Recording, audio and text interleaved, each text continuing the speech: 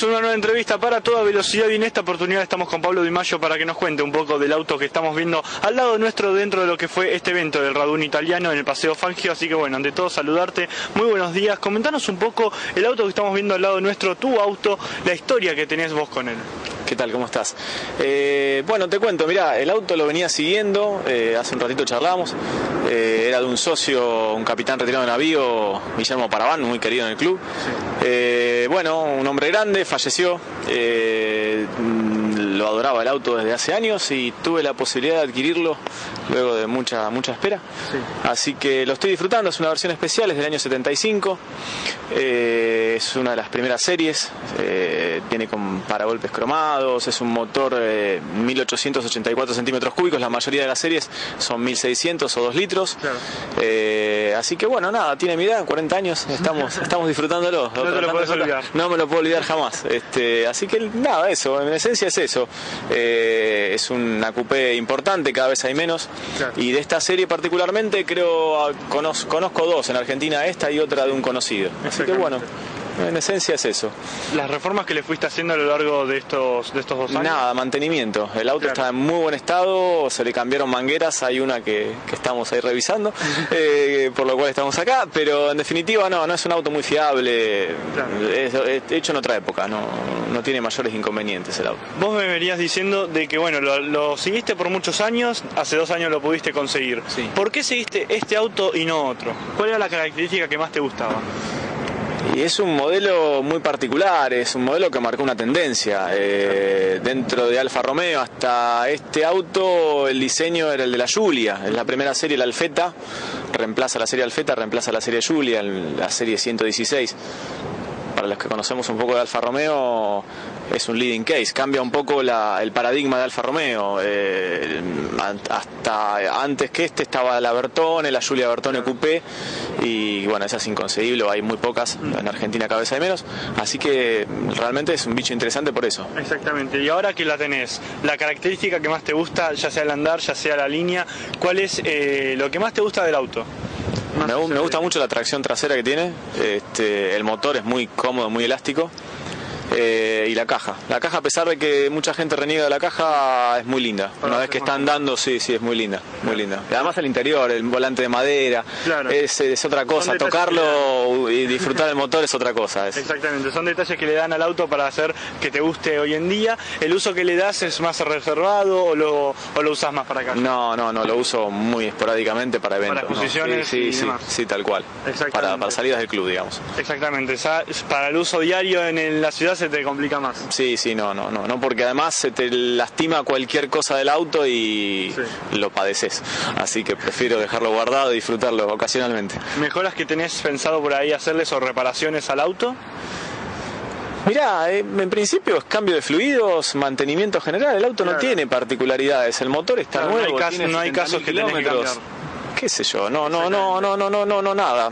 Cuestiones de mantenimiento, qué sé yo, nada, nada particular, no, mejor no. Nada que quieras cambiar y que te guste más a vos. No, no, no, tal cual, tal cual. Está bien así como está original de fábrica, este, disfrutable. Exactamente. Por último, una opinión del Raduno que se está realizando en el día de hoy en el Paseo Fangio. Mirá, la verdad que fue un, eh, fue un evento, es un evento muy lindo, es un evento histórico del club y tuvimos la sorpresa de recibir muchos, eh, muchos asistentes. Este año, el año pasado había llovido, vino mucha gente, pero no tanta como este año.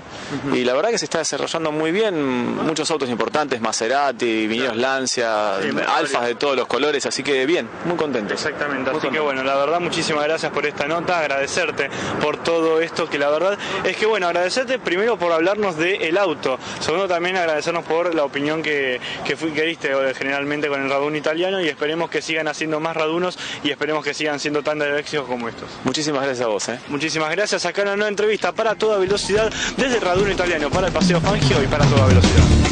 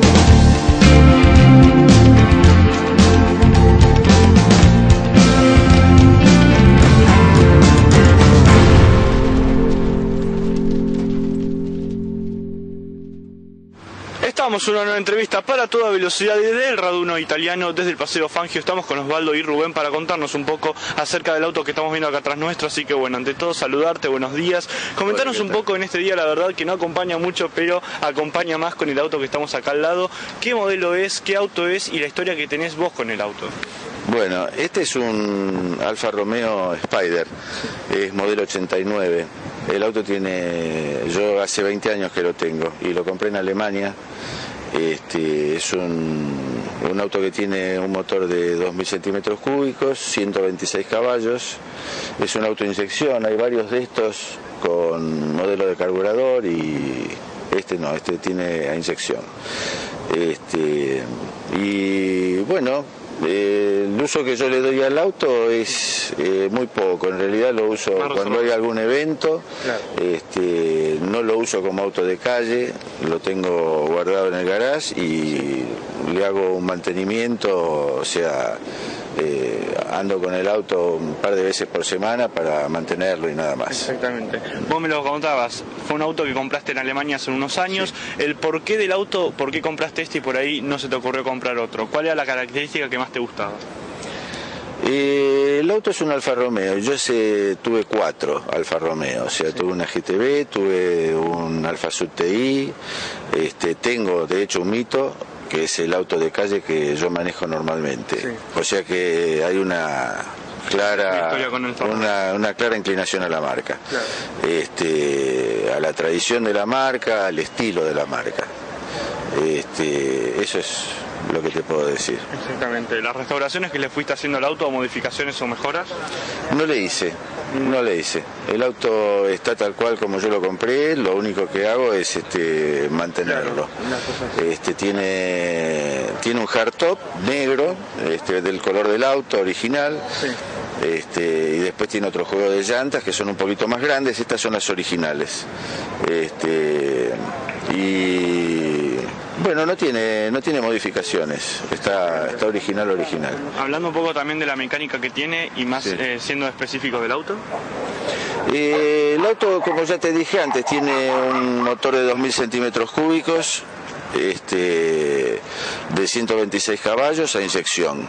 es un motor que no toquemos madera, pero no tiene, no es un motor que, genere problemas. La característica para cerrar esta nota, la característica que más te gusta, eh, ya sea el andar o la línea o lo que a vos te diga que es el mejor auto para vos. Bueno, es un auto que siempre me gustó desde que salió. Es un auto del año 66, el primer modelo es del año 66 y se fabricó hasta el año 93 y yo lo conocía el auto en sus primeros modelos. Este, hay una película bastante famosa que es El Graduado, este, en donde el, uno de los protagonistas principales es un adueto rojo. Claro, y de ahí te dejó marcado. Y de ahí me dejó marcado hasta que, bueno, hasta que lo compré. Exactamente. Este, pero siempre fui camino por, la, por, el, camino de la marca, ¿no? Este, el auto, a mí me gustan los autos coupé, los autos de dos puertas, eh, los autos para dos personas y los autos convertibles, así que no hay nada mejor que esto. Exactamente, entramos vos y yo entonces. Tal cual. y también no estás solo acompañado acá en esta exposición, sino también Estamos acá junto a Rubén, así que bueno, ante todo saludarte, muy buenos días. Queremos una opinión vos acerca del auto, del por qué te gusta o el por qué no te gusta o qué tendrías que modificarle para vos eh, que te guste este auto. Buenos días, este no, es muy placentero, este me gusta el hecho de la posibilidad de la capota, este, el hecho de disfrutar del aire libre. Hoy no es el día ideal, pero este, es contacto con la naturaleza, este, parece un auto de otra época insertado en el hoy, ¿no? Exactamente, ¿concordás con él en la opinión de que te gustan los dos puertas, los coupés, los descapotables o te gustan otro estilo de autos? No, no, me gusta un auto de este tipo, sí, sí, sí, no, no, no me gustan los autos demasiado grandes, es, es, el tamaño del auto es ideal. Exactamente. Así que bueno, la verdad muchísimas gracias a ambos por contarnos un poco de la historia y también de las particularidades que tiene este Alfa Romeo. La verdad es que bueno, agradecerles y esperemos que a lo largo de los años y a lo largo de los meses se siga manteniendo con el estado en el que estás eh, conservándolo y también lo conservaste durante los años. Bueno, es un placer, ¿eh? es un placer realmente, estamos a disposición. ¿eh? Muchísimas gracias Osvaldo y muchísimas gracias Rubén. Un placer. Muchísimas gracias a ambos. Acá una nueva entrevista para toda velocidad desde un nuevo Raduno italiano organizado por el club de Alfa Romeo desde el Paseo Fangio para ustedes para toda velocidad.